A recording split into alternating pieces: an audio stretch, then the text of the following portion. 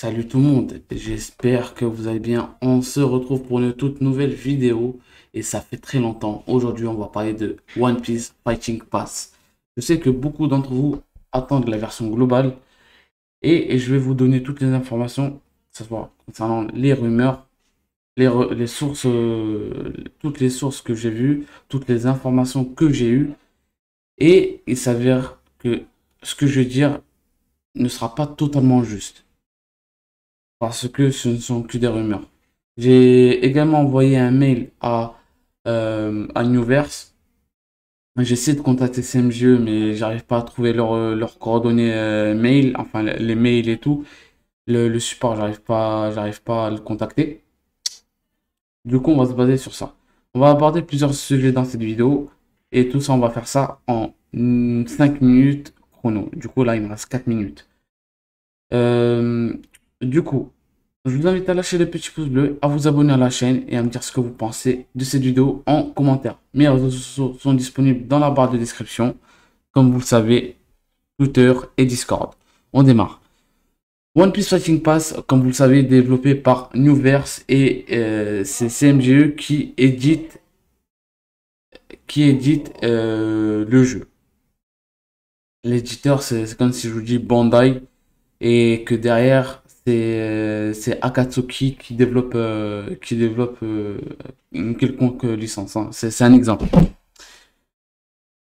Et du coup, One Piece Fighting Pass, qui est développé par, euh, par Newverse et édité par CMGE, et d'ailleurs, CMGE est l'une des plus grosses boîtes connues à ce jour au, au en Chine et qui est un concurrent direct de euh, Tencent. Vous savez, Tencent qui ont développé euh, euh Sensaya Awakening, donc c'est ça, qui ont développé euh, le Naruto Mobile Game, version chinoise, qui ont développé d'autres jeux. Et parmi, parmi ces jeux, il n'y en, a, en a pas beaucoup qui ont vu le jour chez nous, en Europe, en version globale, à l'international. Et euh, Universe a développé également d'autres jeux qui sont ici. Ils ont développé une dizaine de jeux et parmi, euh, euh, euh cette dizaine de jeux, il y en a 4-5 qui ont vu le jour chez nous. On commence par Ragnarok, Warhammer, marteau, le marteau des 40 000 soldats ou je sais pas quoi là. Et deux autres jeux, un jeu de farming un peu à la, à la farm, à la, à la ferme farming, où on, doit cultiver ou, cuisiner des trucs à côté. Et un autre jeu dont je, ne connais pas, dont je ne connais pas spécialement la licence.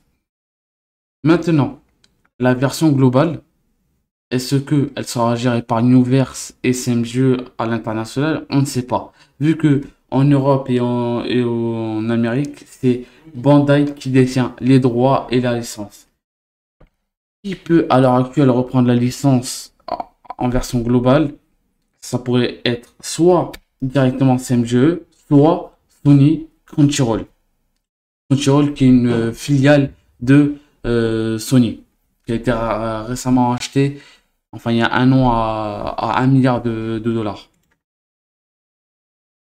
Maintenant, on va parler du dernier sujet de la vidéo, le One Piece Odyssey euh, qui a été, euh, qui a été euh, enregistré par Shueisha et Bandai Namco. On ne sait pas exactement sur quelle plateforme il sera disponible. On ne sait pas si ça sera sur PC, console ou encore sur mobile. Mais il se pourrait que ça soit ce jeu. Pour le moment, on n'a aucune info. On ne sait pas euh, si ça sera ces trois euh, ces trois entreprises, ces trois éditeurs qui seront derrière ou une autre, mais le, plus probable, ça sera l'une de ces trois-là. Du coup, soit Sony, soit euh, Bandai, soit CMGE à l'international. CMGE qui d'ailleurs a remporté plusieurs prix et qui a été reconnu en Amérique comme l'une des plus grosses boîtes de jeux vidéo de jeux mobiles plutôt. De jeux vidéo, on va dire, ouais, on va dire de jeux vidéo et jeux mobiles. et qui d'ailleurs avec One Piece Fighting Pass a, a remporté quasiment 10 millions de dollars au mois de juillet. Maintenant, pour moi, ce jeu-là, je le verrais bien arriver à une condition.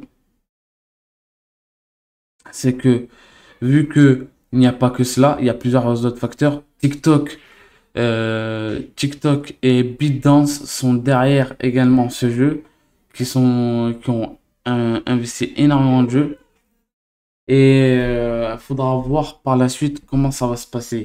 Ils font une annonce euh, sur leurs réseaux sociaux, sûrement Weibo et TikTok. Et on verra d'ici les prochains jours, les prochaines semaines, les prochains mois, comment ça va se passer. Et j'espère réellement que le jeu arrivera en global. Là, c'est toutes les remarques que j'ai entendues. On verra si ça sera One Piece Odyssey en version globale. On verra si c'est CMGE, etc., etc. Ça sera tout pour cette vidéo. J'ai dépassé les 5 minutes. On est quasiment à 6 minutes. Ça sera tout. N'oubliez pas de lâcher le petit pouce bleu, de vous abonner à la chaîne et de me dire ce que vous en pensez en, en commentaire. Je vous dis ciao et à la prochaine. Peace.